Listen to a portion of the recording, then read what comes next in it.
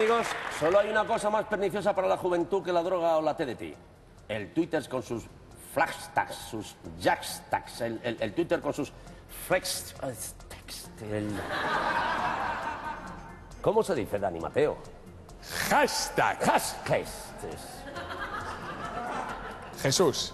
Bueno, hoy es un día.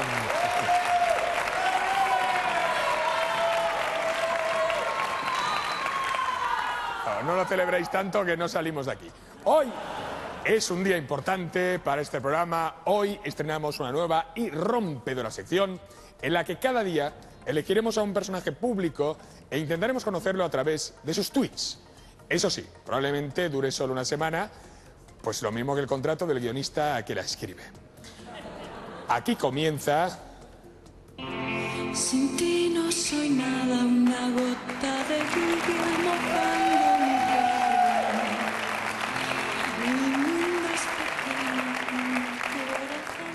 ¿Cómo somos? Sin tweets no soy nada. Aquí todo el día pariendo, pariendo. Bueno, en esta sección vamos a analizar los tweets de aquellos que se pasan más tiempo en Twitter que en la vida real.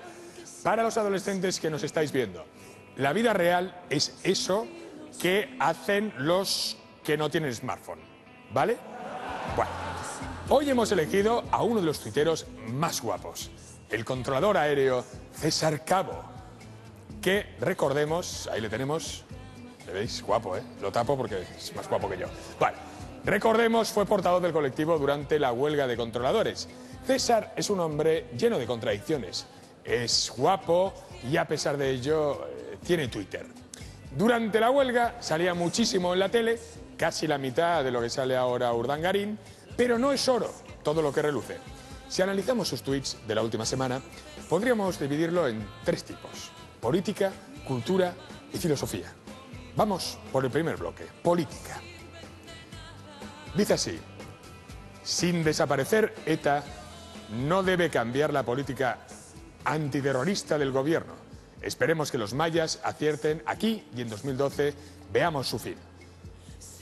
Bueno, es lo bueno del apocalipsis, que se acaba la ETA. Lo malo es que también se acaba pues todo lo demás. Ahí será cuando los buenos vayan al cielo y los malos a la T4. Siguiente.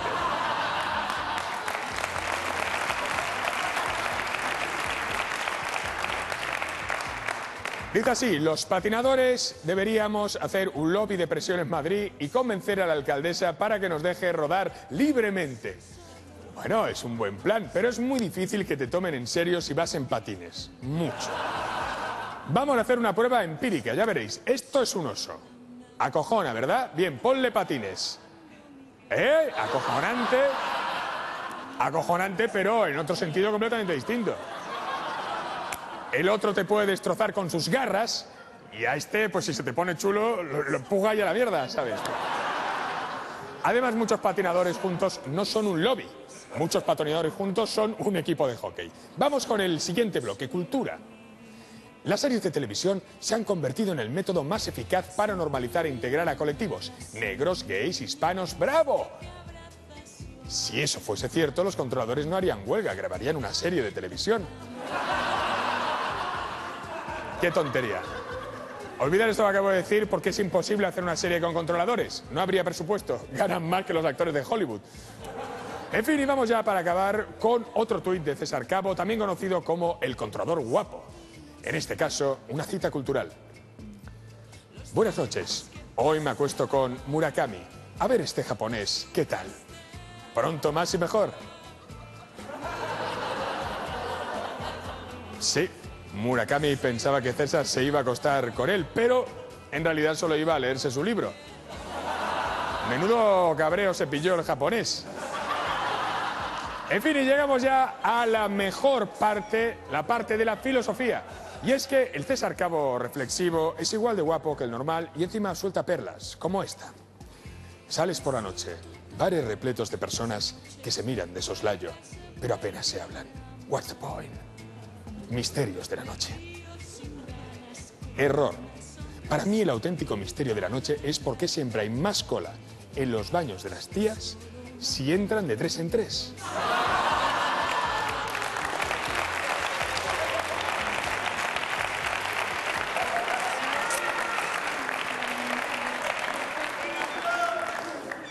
What's the point? What's the point? Y por fin vamos con el último y más inspirado tuit, creo yo, de César Cabo. Es este. La utopía existe, está en nuestras cabezas. Solo tenemos que dar el paso para plasmarla en el día a día.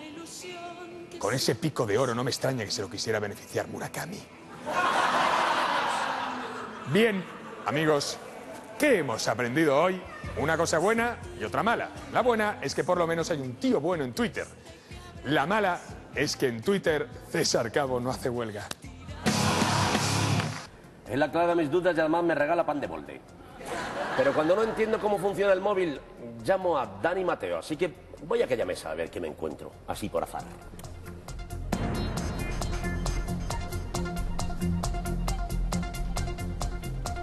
¡Oh! Hablando del rey de Roma, un fuerte aplauso para Dani Mateo. ¡Qué casualidad!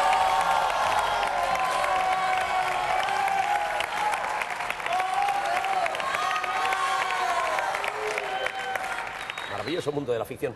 Cuéntanos, Dani, ¿qué hay de nuevo en el apasionante mundo de los apps? Venga, sin escupir, hombre, por favor. No sé hacerlo. Tendría que decir apps, así, no, no, no me sale. Bien, antes de nada, pongamos la cabecera de la sección que nos ha costado un dinerete.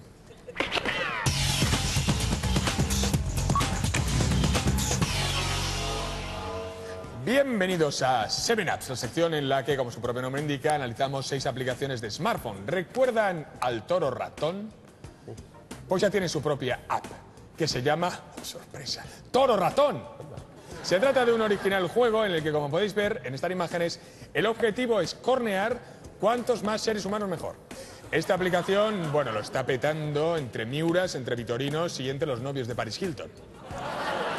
Bueno, Dani, si quisiera perseguir gente por una plaza, me haría mozo de escuadra. Bien, y ahora, por favor, responde a la pregunta que se hace todo el que se compra un smartphone. ¿Cómo se pilla cacho con esto? La verdad es que las aplicaciones para ligar son tantas como ganas tenemos los usuarios. Me he permitido hacer un top 10 con las cinco mejores, todas absolutamente reales. En el número uno de nuestro top 10 de 5 tenemos a Sexulator. Sexulator, mezcla de sex y calculator. Una aplicación, bueno, bueno, utilísima que sirve para llevar la cuenta de las veces que un usuario tiene relaciones sexuales. A la semana o al mes. ¿Y funciona bien? Pues no sé, ya te contaré el año que viene. Aunque si os queréis ahorrar el dinero, os contaré un secreto. Si tenéis pareja estable, un calendario de toda la vida os vale. Los días de sexo ya vienen señalados en rojo, son domingos y festivos.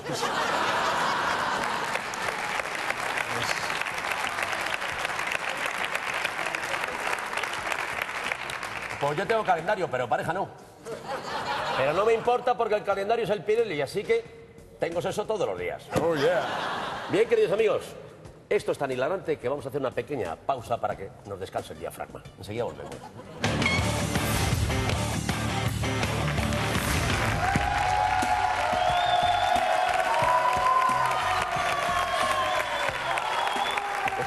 Queridos amigos. Gracias. Aquí seguimos al intermedio. Estoy aquí acompañado de Dani Mateo repasando algunas de las aplicaciones para ligar que más éxito tienen. ¿No es así, Dani Mateo? Bueno, sí, sí, las que más éxito tienen. En el supuesto caso de que no tengáis pareja, que esto pasa, esto pasa aunque no lo creáis, hay algo que os puede ayudar. El Grinder. El Grindr. Grinder. Ya lo he visto y no es tan bueno. Al final el bicho verde se nos roba las navidades. Eso es el Grinch. Grinder. Grinder es una aplicación de la que ya hemos hablado en el programa que te permite encontrar gente cercana con ganas de ligar en el entorno gay, es decir, todos.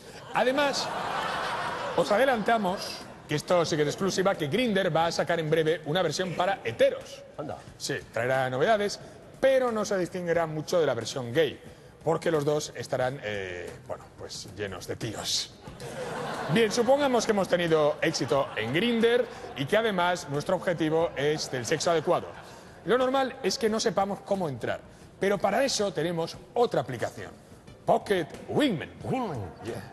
que te sugiere una serie de frases para romper el hielo y así ayudarte a ligar. Os pongo un ejemplo real. Atención, ¿eh? Esto viene en el... Tienes algo en el pecho. Mis ojos. Lo que toda la vida se ha llamado el amigo borracho. De momento solo existe versión en inglés, pero ya han encargado la traducción española al sindicato de albañiles. De acuerdo, imaginemos que la cosa pinta bien, pero que nos falla la logística, es decir, que no tenemos preservativos. No pasa nada. Con la aplicación New York Condom podemos encontrar la máquina expendedora de condones más cercana. Solo tiene un pequeñísimo defecto. Te encuentra la más cercana en Nueva York. Claro, lo cual es un pequeño problema, ¿no? ¿Te parece? En absoluto.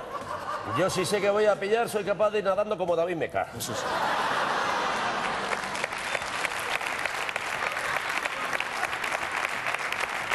Bien, de todas formas, gracias. De todas formas, a los españoles no nos hace falta. Todos llevamos un condón en la cartera y se renueva como el DNI cada cinco años. Bien, sigamos imaginando que todo ha ido bien, llevamos condones, estamos acompañados y en la cama. Dani, estamos imaginando tanto que esto más que igual parece ciencia ficción. O mejor dicho, sexo ficción, que por otro lado es lo único que practico. Tranquilo que ya, ya queda poco. Con 3D Kama Sutra tienes acceso a las más impactantes y estimulantes posturas del Kama Sutra. Esto, amigos, es completamente real. Tienes la de la liebre, la de la yegua, la del elefante, solo falta la del toro ratón. Yo me fío de los indios en materia de sexo. Se nota que practican mucho, son más de mil millones. Hombre, si lo piensas, si lo piensas, ahora mismo seguro que hay alguien en Bombay buscando con el grinder. Oiga, que dice, ¿para qué? Si de mil millones alguien tiene que querer, ¿no?